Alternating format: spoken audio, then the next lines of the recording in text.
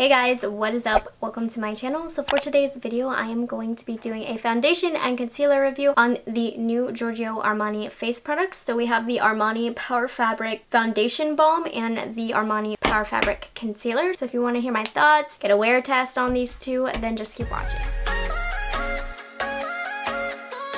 So we have the Giorgio Armani, of course, Power Fabric Foundation Balm. This retails for $64 and right now at the current moment it looks like you can pick it up from Neiman Marcus, Bloomingdale's, Giorgio Armani, and Barney's. And then of course we're going to be talking about the Power Fabric Concealer. You can get this at all the places I just mentioned as well as Sephora. This actually was in my Sephora store the other day. So I'm going to zoom into my face and we are going to hone in on this foundation. Okay, so we have here the Power Fabric High Coverage Foundation Balm. This is available in 12 shades. I got mine in the shade number 4. If you're curious, I do wear 4.5 in Luminous Silk.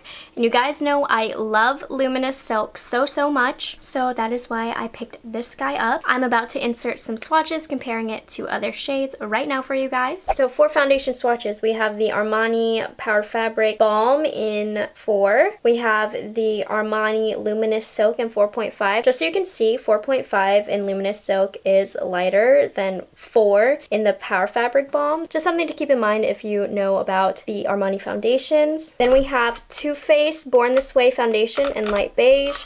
We have the Tom Ford Seamless Foundation Stick in 4.5 Light Ivory. We have the Maybelline Fit Me Foundation in 125 Nude Beige. And finally, the It Cosmetics CC Cream in Medium if you want to compare.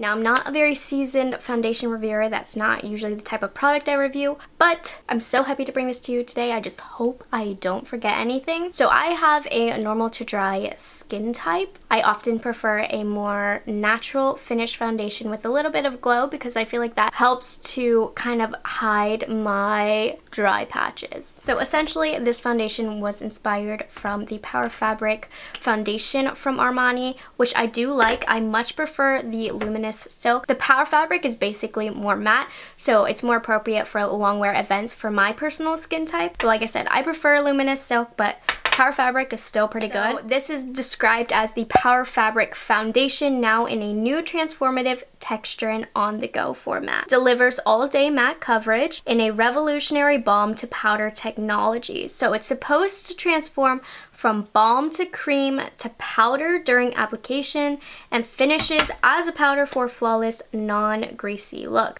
It claims to be full matte coverage, the balm to powder texture, long wear, compact, natural, blah blah blah. Just so you know, I have worn this foundation before because I'm very indecisive when it comes to foundations, so I did want to get some wear in before I did this video just to see what ways work best for me and plus first impressions for foundations are a little sketch for me because I just feel like like my skin is so different every day. Some days it's really dry, some days I get oily. It's so strange. So I will tell you now, if you have dry skin, you're going to hate this product. Yesterday, uh, my skin was, wasn't even dry, but when I put this on, it definitely emphasized my dry patches. In preparation to not have a repeat of yesterday, I exfoliated, I moisturized, I have let my primer oil sit on my skin for a while and I just sprayed with a facial spray. So hopefully I don't have a repeat of yesterday. So when you open it, it basically has the same packaging of a cushion foundation, but it's not. It literally is a balm consistency. I tried it with a brush for application. That was a no-go for me. So I am going to use my sponge. I just dip it in there and pat it around. Now, like I said, I normally wear a 4.5 in the Luminous Silk. I got this in a 4, and as you can see, it's ever so slightly too dark on me. I can totally deal with it. This will be the perfect shade for me in the summer. Definitely runs dark compared to their other shades. What I found with this product is less is more. If you keep building and building, that is when I feel like it looks really cakey and really looks like it is sitting on my skin. So I try not to layer it on too much. So just FYI, it claims to be full coverage. I don't think it's very full coverage. I can still see discoloration on my skin. I mean, it's definitely a medium coverage and it's not bad coverage wise, I like a medium coverage. So just so you know, the balm to cream to powder consistency, totally true. This definitely finishes as a powder, which I really do like. I love powder foundation, but powder foundation comes at a cost for me because it looks a little cakey. So I'm gonna zoom you in and tell you my thoughts. I was hoping for a better experience than yesterday because I'm gonna be honest, I didn't really like this foundation yesterday. So I feel like it looks really cakey around my mouth. It looks like it's just sitting on top of my skin. It's kind of emphasizing, I don't know, are these wrinkles? My smile wrinkles? It looks pretty good on my forehead, honestly. I'm just gonna let you take a look real fast. So I mean, basically what I'm trying to tell you, based on the days that I've worn this, I don't really like how it looks on my skin. It sits on top of my skin. It looks cakey on my skin. One thing I will say though, I don't even feel it on my skin. It is very, very lightweight, which I think a lot of you guys will love. I'm thinking if you have dry skin, you're not going to like this, but I can see somebody with oily skin really liking this. Okay, anyways, we're going to move on to the concealer over here. The concealer here is $34. It comes in 20 shades. I got mine in the shade number four also. I'm just gonna put a little bit under my eyes. I haven't been too into applying a really heavy layer of concealer just because I feel like that causes it to cake. Now this concealer, based on my previous experiences with it. Oh my gosh, it is so lightweight, blends super easy. I would say it has a more medium coverage. Oh, by the way, I forgot to read this to you guys. This concealer delivers high coverage payoff to hide imperfections throughout the day. Non-creasing, stretchable concealer formulated with time-releasing oils to seamlessly glide along the skin for easy blending and a long wear result. I'll tell you right now, definitely very easy blending. Not the most full coverage concealer that I've ever used, but a very lightweight medium coverage in the best way possible. I don't know, it did its job and it did it well.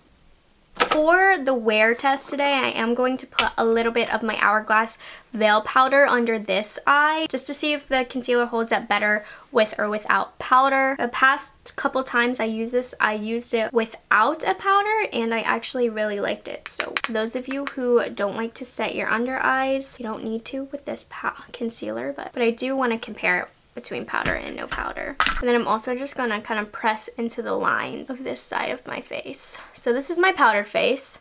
This is my non-powdered face. So I am going to finish the rest of my makeup and I will be right back. Okay, so it is currently 117. So I'm to say I had my foundation on at about 1 for the check-ins. But now I have everything on and in place on my face. I will say I did spray my face with a little bit of Fix Plus and with everything else on top my skin it definitely looks a lot better. The finish of this I would describe as a natural matte. It is not the most matte matte I've ever seen in my life. It does have a little bit more to it, so it's definitely a natural matte. My under eyes are looking pretty nice and pretty smooth. Uh, it also stated that the concealer could work as an eyeshadow base, so I did put that all over my eyes before my eyeshadow, so we'll see how my eyeshadow wears. As of now, I can't lie, I'm really not feeling this foundation. I just think I have other foundations that look better than this. From afar, the foundation looks really good on my skin, but close up, it just looks like it's sitting on top and is a little cakey. I will check in to let you know how everything's going in a few hours. Hello. Okay, so it is about 4 o'clock, 3.55 if you want to be exact. So we are at the three hour checkpoint. What I noticed is that my smile lines are ever so slightly just starting to show and it's starting to separate a little bit on my chin. Other than that, everything looks better. It doesn't look quite so cakey anymore. I think the oils of my skin just needed to sink into the powder to make it look more skin-like. It has a little bit more of a luminosity to it. So with my natural oils added, it definitely looks a lot better. Still not loving it, but I don't dislike it quite as strongly anymore. I will say yesterday when I did wear this and I didn't properly prepare my face, it was a mess in this area. Separated, disgusting looking. So today it's definitely holding on a lot a lot, a lot better. So far in the three hour checkpoint, it looks pretty good. Generally speaking, my skin doesn't have trouble with wear time. Um, it's just more so about separation, seeping into things I don't want it to seep into. And it's starting, I can tell, but I will check in with you guys and we'll see how strongly this holds. Also, almost forgot to mention, I noticed significantly less creasing on this eye, which was the eye that I did powder. So there's more creasing on the eye that I didn't powder, but it really isn't that bad. But powdering still does the trick. So here's a closer look. So this is the not powdered eye. This is the powdered eye. And ignore my terrible lined lips. But so you can get a closer look at my skin. Gosh, natural lighting is so beautiful. Alright, so it is time for our six hour check-in. So it is about 7 o'clock. So I just got back from eating wings. So basically that's a big mess and I like rubbed all of this off. But this was the ugly part of the makeup, so I'm not even mad at it.